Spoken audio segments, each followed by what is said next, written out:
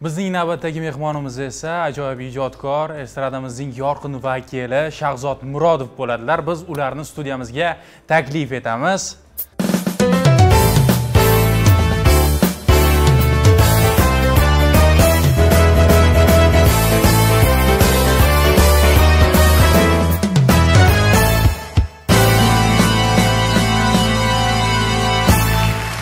Assalomu alaykum. Assalomu alaykum. Xayrli tong. Ertalabdan uyg'onib kelish qiyin bo'lmadimi? Ozgina qiyin bo'ldi to'g'risi. Lekin hech qisi yo'q. Lekin hech qisi yo'q. Mazmunli suhbat oldi. Bu uyqudan menimcha voz kechish sizga u qadar qiyin bo'lmagan. Albatta bu e, qaysidir ma'noda yaxshilikka bu. Mhm, Bo'lmasam, Chunki muxlislar sizni albatta chunki yurtdoshlarimiz bilan o'ynay jahon orqali ko'rish nasib qilib turibdi mana. Biz suhbatga nafaqat sizni, balki turmush o'rtog'ingizni ham chaqirmoqchi edik, lekin negadir qarshilik qildingiz. Buni sababi nimada? Shu farzand tarbiyasi bilan band bo'lganlar uchunmi yoki ba'zi bir shu mashhurlar kabi siz ham oilangizni ko'z-ko'z qilishni yoqtirmaysizmi? Shunaqa, shunaqa. Oilamni e, ko'rsatishni xohlamayman. Mhm. Chunki bu mani oilam. Boshqacha gap bilan e, tushuntirib bera olmayman, bo'ldi shu. Muxlislar faqat ijodingizni kuzatishlari kerak, oilangiz bu shaxsiy, sizga tegishli bo'lgan. Ota bo'lgandan keyin mas'uliyat yanada oshadi. Ota bo'lgandan keyin zimmalarga yana yuklar qo'shiladi. Bu yog'i mana e, ayolingiz kunida taglik olib keling deydi. Shunaqa mas'uliyatli vazifalar zimmangizga tushadi. Ota bo'lgandan keyin otani qadrini e, bilishni boshlaydi. Sizda qanday bo'ldi? Qanaqa o'zgarishlar olib keldi? Man judayam e, mas'uliyatli bo'ldim. O'zi oldindan ham mas'uliyatliman. Bolaligimdan ham ko'proq o'sha odam nimadir ish sekin sekin ish e, berib berib o'sha mas'uliyatni e, o'rgatgan. E, hozir yanada mas'uliyatli bo'ldim. Endi ota sifatida mas'uliyatli bo'ldim. Oldin o'g'il sifatida mas'uliyatli bo'lgan bo'lsam keyin er sifatida mas'uliyatli bo'lgan bo'lsam endi ham o'g'il ham er ham ota sifatida mas'uliyat. Mas'uliyat judayam nima deydi ko'pda hozir xullas Qanday o'zgarishlar bo'ldi? Chaqaloq sizning hayotingizda, yangi mehmon sizning hayotingizda qanday o'zgarishlarni olib keldi? Mana shu mas'uliyatdan tashqari. o'zgarishlar endi eng ana quvonchli xursandchilikda manimcha eng e, xursandchilikni ham xursandchiligi deydiyu eng shirinida xursandchilikni ham ikki ming yigirmanchi yil hammamiz uchun baribir karantin e, ayrim sabablarga ko'ra qiyinchilik yil bo'ldi shu yilni oxirida shu olloh siyladi desam adashmagan bo'laman shu judayam katta xursandchilik bo'ldi. Bilamizki, odatda estrada vakillari, umuman mashhurlar o'zlarining sohasi vakillaridan o'zlariga turmush o'rtoq qidirishadi.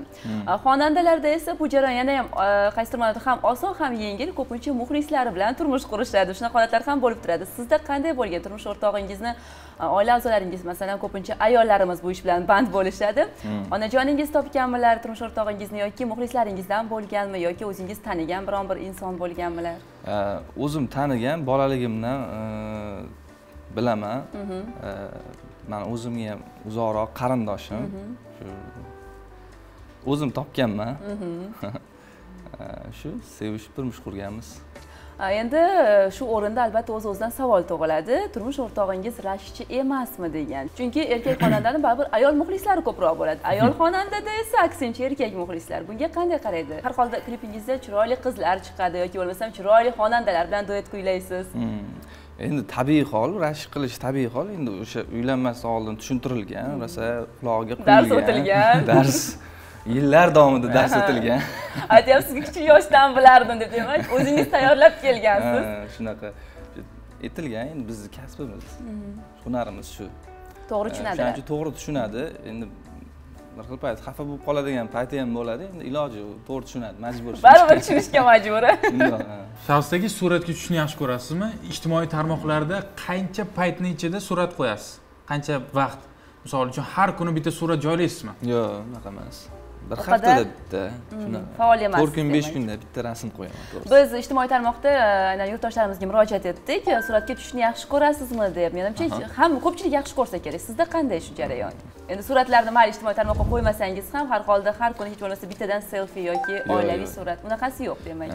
Yo'q yo'q unaqa o'zim ko'p rasmga olmayman to'g'ri suratga olmayman o'zim. unchalar yoqtirmaysiz. yo'q unchalik yoqtirmas ekanman hozir o'ylab qarasam endi e, kerakligi uchun e, kerakligi uchun atrofdagilar iltimos qilsa kayfiyatga qarab yo'q mana misol uchun mana biz ishimiz e, xonandalik instagram ijtimoiy tarmoqlarda kuzatishadi bizni muxlislar E, ular uchun shu rasmga olib yoki videoga olib qo'yiladi. Yangiliklardan boxabar bo'lish uchun. Shunaqa o'sha uchun.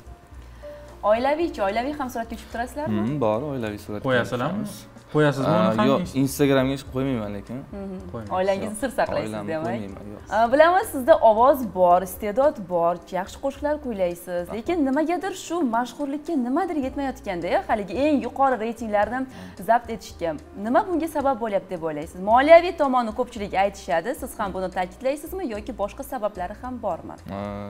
Endi u ham sabab u ham sabab moliyaviy taraf ham sabab lekin umuman olganda hozir o'sha siz aytgan reytingdagi qo'shiqchilar ham umuman e, olganda hit qo'shiq chiqarolmayapti o'zi.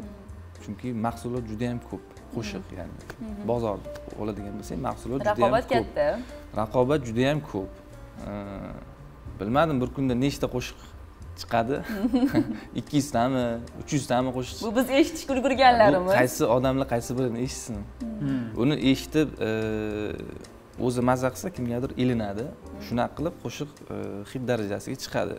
Mahsulot ko'p bo'lgandan keyin uni qaysi birini eshitishni bilmay e, qo'shiq o'sha hit darajasiga yetmaydi hozir ayni shunaqa davr demak siz e, soniga emas sifatiga e'tibor berish kerak degan naqlga amal qilasiz. Shunaqa. Judayam soz. Seriallarda ham rol ijro etibsiz. Bu shunchaki ko'rinish uchunmi yoki bo'lmasam qaysidir insonlar aynan rejissyorlar sizni mana shu rolda ko'rgani uchunmi? Hmm, shunaqa. Ya'ni aktyorlikka birinchi qadamlar bu. Taklif Men serialda o'zi e, o'ynagandim. Shu qo'shiqchi bo'lib e, serialda o'ynaganman. Endi aktyor sifatida o'zingiz boshladim. sinab ko'rdingiz. Qaysi serial? Kundosh degan serialda. Sizni qanday obrazda biz ko'rishimiz mumkin u yerda endi yaxshi obrazda ko'rishinglar Ha, mumkin. ijobiy obraz demak o'zingizni o'ylabsizda u holda. Yaxshi aytingchi xonandalik yoki aktyorlik qaysidir e, qay darajada bir birini to'ldirar ekan yoki qay darajada bir biridan o'sha farqi bor. Mhm. Ee, endi aktyorlik man aktyorman deyolmayman har holda xonandaman rostdan ham. Ee, o'zi muzikantman ishonamiz bunga ishonamiz. Muzikantman o'zi aslida. Xonandalik ham keyin kirib kelganman kliplarda o'ynaganman o'zimni kliplarimda o'ynaganman. Umuman kino boshqa narsa klip boshqa narsa. Bog'lab turadigan narsalari ko'p. Misol uchun klipda so'zsiz ijro etish kerak. Misol uchun o'zimni besh oltita kliplarimda tushgan bo'lsam uni gapirmasdan e, ijro ijro qilingan. Shu ko'z yuz qarashlar ko'proq e, o'ynash kerak. A kinoda serialda ham so'z bilan ham gapirish kerak. O'shaning uchun birmuncha qiyin bo'ldi menga endi bilmadim endi qanchalik o'xshadi o'xshamadi bunda endi xolis bahoni doimgidek muxlislar berishadi. Bugungi kunda juda ko'plab san'atkorlarimiz e, bilamizki san'atni birin ketin tark etishyapti turli sabablarga ko'ra. Sizda ham xuddi shunday xayollar hech bo'lib turganmi men ham endi shu xonandalikni tashlasamchi boshqa bir ish bilan shug'ullansamchi deganga o'xshash o'y xayollar bo'ladimi judayam ko'p san'atkorlar tark etyapti. Bo'ladi bunga sabab nima? Bunday xayollar kelishiga umuman bunday e, bir to'xtamga kelishingizga.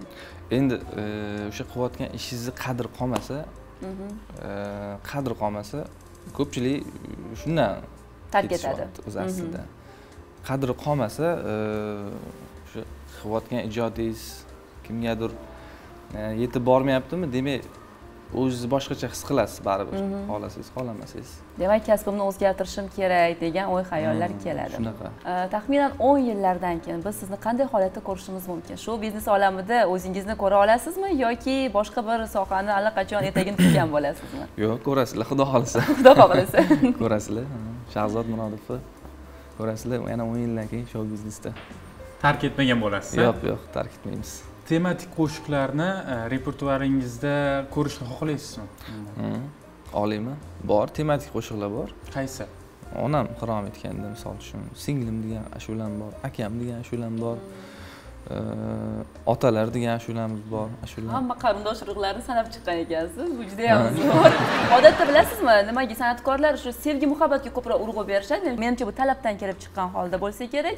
Keyin esa albatta vatan haqida kuylashadi endi vatanni madh etmasa bo'lmaydi va ona ko'pincha agar undan ortsa ota lekin aka singil bu mavzularni hozir ko'p hozir ko'p hozir qiz qizim o'g'lim aka uka singil hozir mavzu Xola, qoldi amma. jiyan xola amma xola. Qoladi judayam yaxshi. O'zi ijodkorlar bilan tunda ijod qilib kunduzi uxlaydi deyishadi. Sizda ham shundaymi yoki ijod uchun vaqt tanlamaysizmi? Ya, vaqt tanlamayman. E, lekin mana bugun ertalabgacha soat beshgacha uxlamasdan bitta e, zo'r o'zimga yoqdi. Ota haqida dada haqida. E, yo'nalishini qildim. Ikki kuplet she'rini yozdim. Manimcha yaxshi anaqa bo'ladi. Demak qo'shiq bo'ladi. Demak omon omonda hozir ozgina kuylab berasiz yo'q kuylab bermayman lekin yo'q hozir mavzuni ochib bera olmaysiz yo'q uni e, tayyor ishlanishi kerak. Qarang ijoddan shunaqa yiroq insonsiz darrov bilindi. Hozir- men shunchaki birinchilardan bo'lib eshitgim nasib bo'lsa keldi keyingi safar kelganda premyera qilamiz. Albatta. Nasib etsa demak ota mavzusida kuylanadi. Bugun ham menimcha biz uchun qandaydir bir tarona tayyorlab kelgan bo'lsangiz kerak. Albatta. Kel kel deb nomlangan qo'shig'imizni raqs bop a albatta. Yana bir bor tashrif uchun sizga tashakkur ijodiy barkamollik tilaymiz